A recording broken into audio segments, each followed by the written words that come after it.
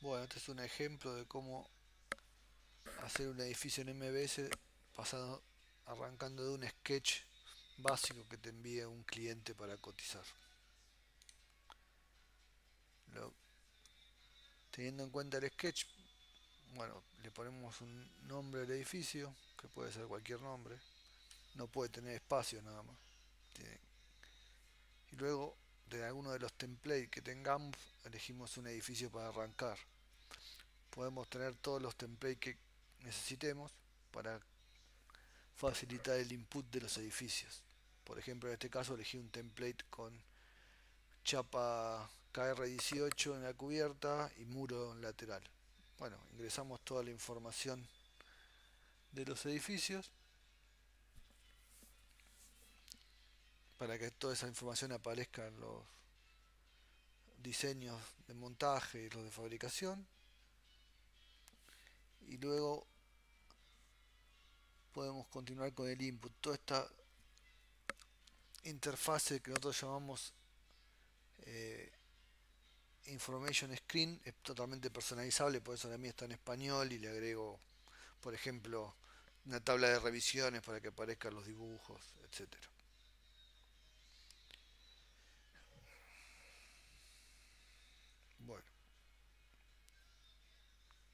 en el input definimos ancho, largo, altura live,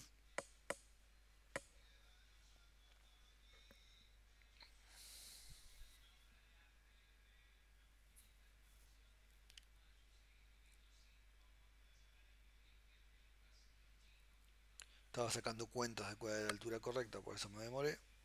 Y el tipo de estructura que queremos en el Enwell sobre todo. En este caso vamos a dejar un post and beam en el Enwell. Y luego el nivel de apoyo de las columnas por si tuviera algún tipo de grouting. Luego podemos definir el tipo de panel, el tipo de lámina, el color. En este caso el color y el tipo y el estilo de los trim.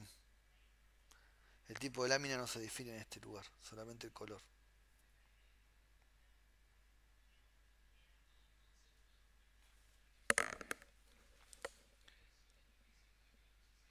Estoy definiendo todo el, distinto tipo de lámina, distinto tipo de color para los distintos tipos de trim y para la lámina del techo de la pared y después los estilos de singuería que sería la forma de los trim pero en este caso yo tengo uno solo así que no puedo cambiarlo. Luego bay spacing.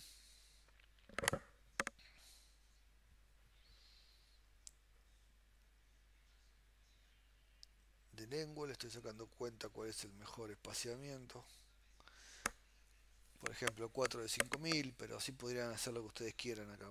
Como ejemplo voy a cambiar 2 de 10000 y algún cambio más para que vean cómo, cómo quedaría.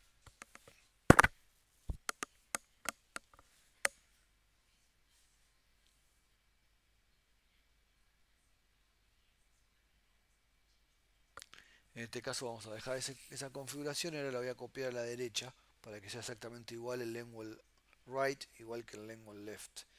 luego la cubierta. Voy a cambiar la distribución de marcos. ese sería el, spacing del roof, la distancia entre marcos. Voy a poner cuatro marcos a 6250.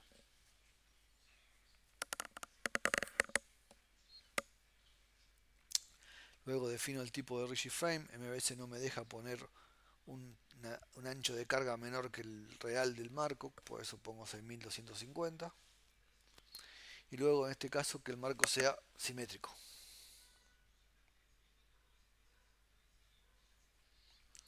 Las columnas son articuladas y no tenemos columnas interiores.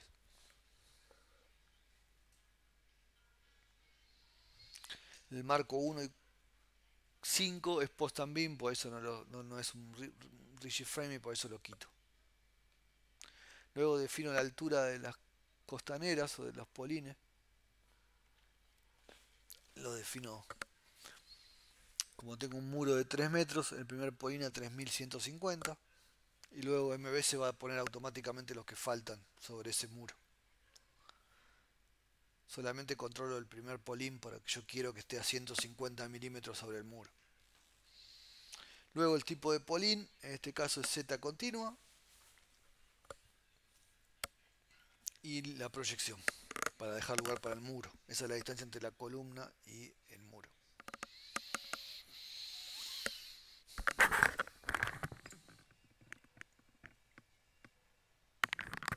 En el caso de la cubierta es lo mismo.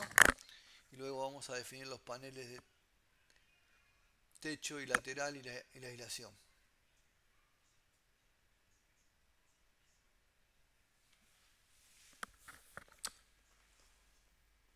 Aberturas, vamos a poner algunos portones para que vean cómo se ingresan los portones.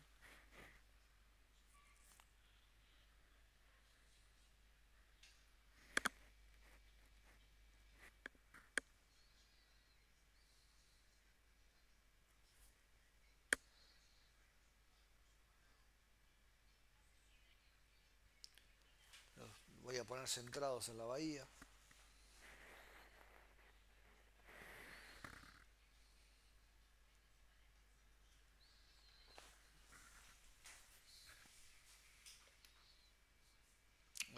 Lo copio el primero y lo cambio de bahía nada.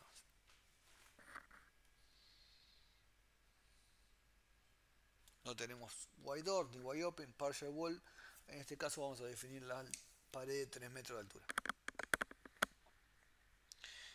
En todos los casos voy a permitir que el viento siga siendo aplicado a las columnas. Es mi estándar hacerlo, pero yo puedo quitar si quiero el viento de las columnas. Si la pared fuera independiente, podría quitar el viento de las columnas.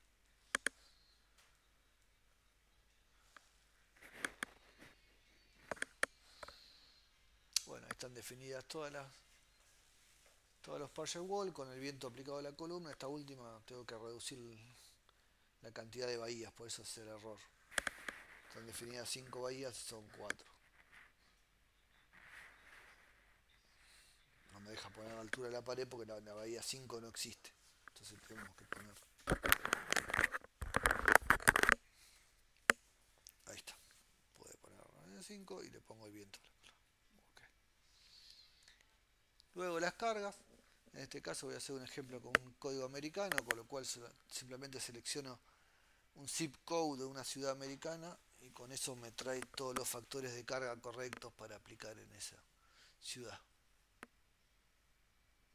Tanto como sea nieve o viento, los códigos de, diseño correctos según el building code de esa ciudad. Bueno, eso lo hace automático. Corrijo el dead load y el leap load para que cumpla con el código americano. Y bueno, ya estoy en condiciones de seguir con ese edificio. Las cargas, las caras no le voy a tocar nada. Puedo quitar las cargas, modificar el peso de la pared para el sismo. En este caso lo voy a dejar estándar de MBS, no cambio nada. Y ya está en condiciones de correr el edificio.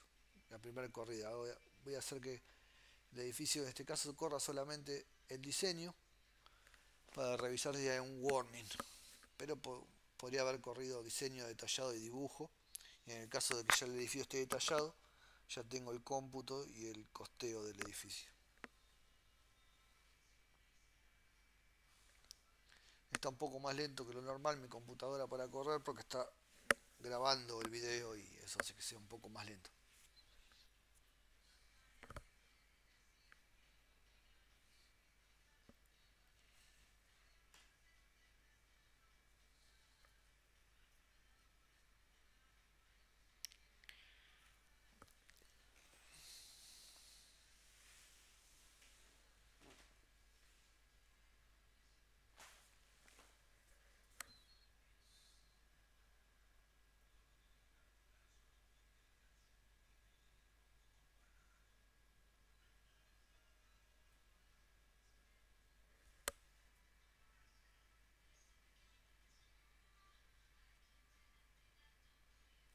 Bueno, ahí terminó de correr el diseño, no hay ningún warning importante, salvo unas soldaduras, o en este caso un autorroscante, bueno, que seguramente es un problema de la base de datos, no, no hay ningún warning que me justifique no continuar con el edificio para la demo, y bueno, seguiremos.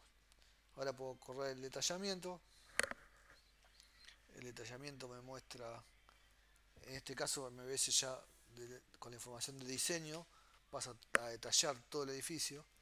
Y en este caso, si yo tuviera bien configuradas las bases de datos de precios, hasta incluso tengo el precio del edificio en la puerta de la fábrica. Obviamente tengo todos los listados de materiales, de materiales eh, de polines, de bulonería y todo lo material necesario para fabricar el edificio, láminas. Ok.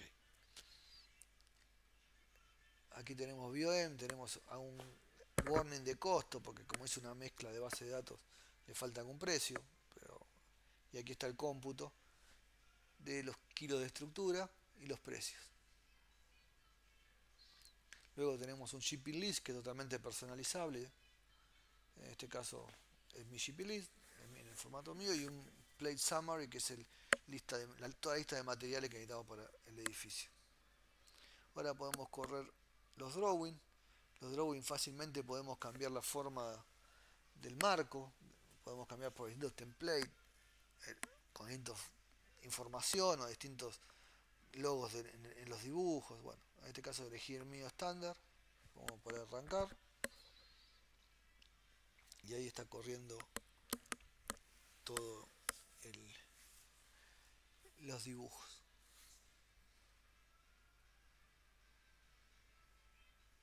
es muy fácil cambiar entre distintos tipos de dibujos, distintas escalas, distintos contenidos, con tablas, sin tablas, que es el ejemplo que les voy a mostrar ahora cuando termine de correr, cómo se puede cambiar rápidamente el formato de los dibujos.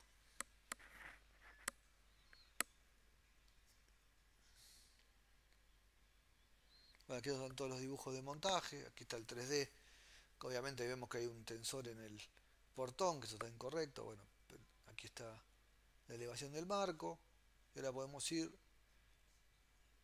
un plano en este caso llamamos una portada de los dibujos que, que se puede personalizar y aquí está la elevación de montaje con lámina y con los trim y las tablas. Yo puedo cambiar fácilmente con otro cliente por ejemplo y cambiar el tipo de marco el rótulo o la información que le pido al, al dibujo, incluso el tamaño de hoja, puedo tener muchos formatos diferentes. En este caso exactamente igual, pero cambié el cliente, con lo cual tengo otro, otro logo en el rótulo. O puedo cambiar, por ejemplo, a otro formato en el cual no quiero las tablas de materiales. Si fue una cotización, no quiero entregar tablas de materiales. Y ahí, saqué las tablas de materiales es muy, muy fácil si se tiene los templates bien configurados. Rápidamente se cambia la información.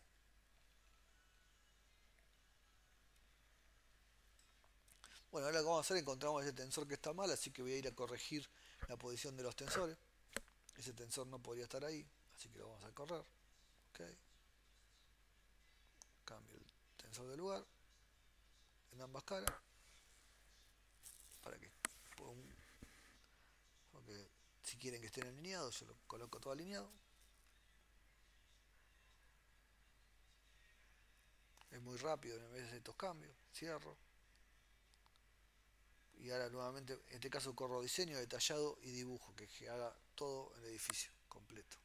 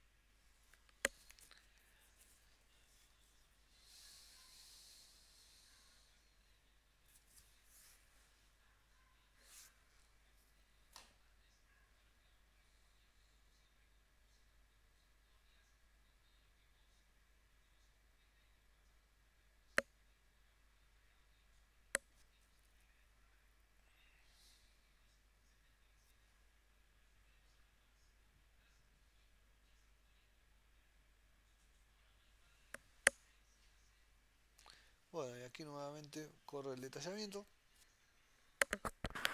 automáticamente porque yo le dejé corra diseño, detallamiento y dibujo.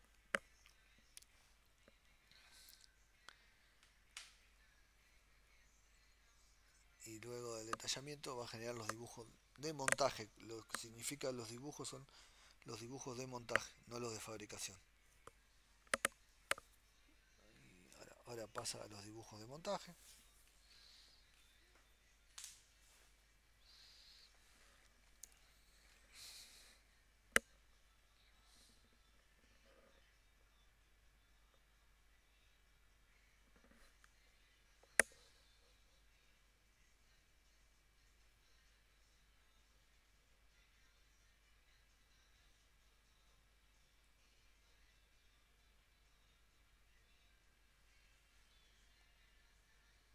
Bueno, ahí tenemos todos los dibujos de montaje ya nuevamente hecho y lo de detallado. Ahí están ya los, dibujos sin el tensor, en este caso en la primera opción de sin tablas, solo voy a poner todas las tablas nuevamente, con tablas, con paneles, con todo, que me muestre el dibujo. Yo puedo configurar qué información tengo en los dibujos fácilmente. Ahí está el plano de montaje, la lámina, el trim, toda la información de la cinguería, todo y obviamente todos los dibujos están en español yo los puedo traducir fácilmente o sea está todo está todo bastante sencillo de, leer. Plano de anclaje es lo mismo puedo configurar la posición de los ejes las escalas eh, puedo agregar detalles personalizados del usuario como es el caso del, del inserto que es un detalle personalizado que yo le agregué al dibujo muy, muy sencillo de lograr buenos planos de montaje fácilmente. Luego, yo, ustedes vieron que yo tenía una tabla de revisiones. Yo, en los planos de montaje puedo configurar MBS para poder tener revisiones solamente de los planos de montaje, no de los planos de fabricación. Es para poder, si envío a probar algo y el cliente me cambia una puerta de lugar o lo que sea, yo genero una nueva revisión, lo vuelvo a mandar a probar antes de poder liberar la ingeniería de fabricación. Y eso lo hago fácilmente, sin tener que copiar el modelo, sin tener que hacer nada, lo hago cambiando acá la, la, descripción y nuevamente aparecerá el, el, plano con el nuevo modelo, con el nuevo, la nueva revisión. Eso es bastante bueno. No es automático de meses, hay que programarlo, pero es muy sencillo. Bueno, luego tenemos todos los que son los, los planos de fabricación tenemos los planos de los polines, de los Enwell que son post and beam. Este es un rafter, por ejemplo. Este es un polín de lateral, un GERT. el door jam de los portones. Y un, polín de techo. Y así podemos buscar toda la información. Luego tenemos el plano de, fabricación o de armado de los marcos, en los cuales tengo la información de soldadura. Yo en mi caso uso una tabla, pero se puede emprender en el dibujo. La tabla normalmente es mejor porque lo deja más limpio. Luego tengo el plano de otra pieza, que en este caso está fuera de escala o se ve feo. Bueno, la podemos fácilmente ajustar en el dibujo para que salga en la escala que nosotros querramos o que se vea más linda la pieza. Obviamente la pieza no está en escala, pero se puede lograr que, que se vea más limpio el dibujo. En este caso voy a cambiar la tabla de soldadura, la voy a achicar un poco, reducir el tamaño, bajarla y cambiar la escala entre vertical y horizontal para que sea la pieza un poco más legible o que quede un poco más prolija en la hoja, ¿no? Ahí está.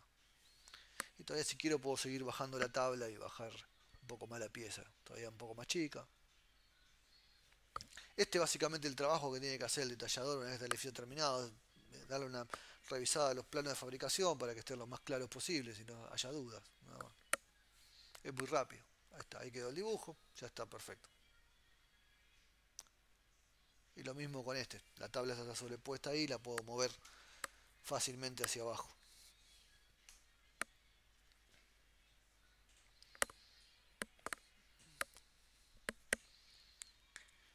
Ok, ahí la pude acomodar. Todos los detalles, todo el marco del dibujo, todo eso es personalizable. Igual que los logos y los los detalles de usuario que yo quiera llamar. Dibujo de tornapuntas, flange braces y de los sack rock diagonales que yo, yo uso en el lateral, capaz que ustedes no lo usan, yo uso en el lateral. luego, luego tenemos los planos esquemáticos de cada ala, de cada alma, de cada placa de conexión. En este caso es una placa de conexión. Y después tenemos el plano de plasma de la misma placa que está en escala 1 en 1 para poder cortarlo con el programa de nesting en la misma placa. Todos los layers, toda la información que sale en los rótulos, todo es totalmente, se puede configurar, se puede cambiar de color de, de layer para, para que el programa de nesting la pueda leer perfectamente. Luego tenemos los reportes que tanto me pidieron. Tenemos el reporte, el GP list en Excel, que es también configurable, con el formato que ustedes quieran, con el rótulo que ustedes quieran. Es un macro en Excel que levanta la información de, del GP list y lo arma. Incluso pueden tener más de uno eh, en, el mismo, en el mismo MBS configurado, todos los que quieran, no hay problema. En este caso yo voy a cargar el estándar mío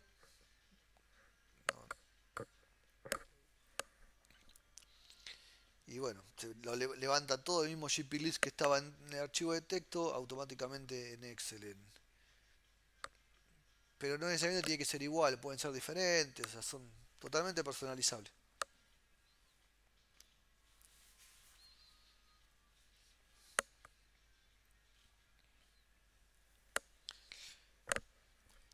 Bueno, ahí está cargando toda la información.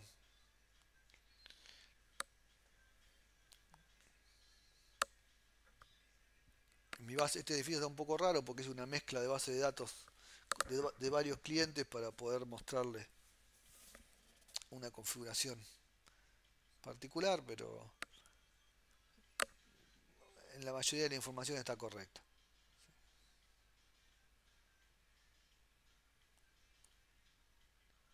ahí tienen los tensores de ángulo, todo lo que salga en la configuración de MBS, que en este caso no tenemos tensores de ángulo, pero correa de techo, correa de lateral, jamba, puntales de techo, todo lo que tengan que MBS haya detallado y haya llamado en el GPD está detallado aquí, está en castellano, fácilmente se puede traducir en cualquier idioma. Luego podemos generar toda la información de fabricación. Necesitamos generar toda la información de fabricación, todos los polines, todo, para poder generar el listado que ustedes necesitan para importar en Strumis. Y los listados de control de corte. Eso, para poder generar esos listados, tiene que estar toda la información de fabricación generada, que es lo que estoy haciendo ahora. Puse a MBS que genere automáticamente toda la información de fabricación, todos los planos de corte, todos los planos esquemáticos, todos los planos de armado.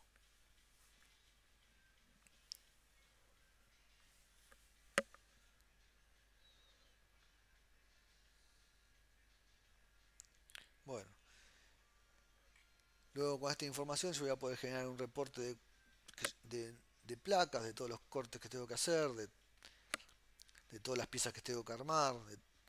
y luego puedo generar el reporte que ustedes necesitan para levantar en Strumis.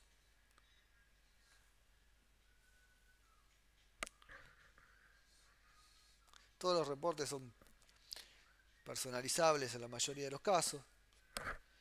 Y todos los materiales son personalizables. Se puede cambiar el nombre etcétera. O sea, yo puedo ponerle cualquier nombre hasta 8 letras pero luego lo puedo traducir cuando levanto en el GP list o en algún reporte ese nombre de 8 letras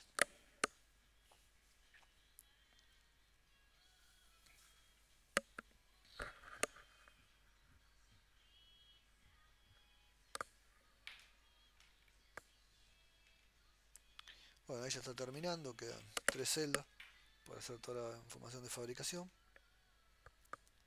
Eh,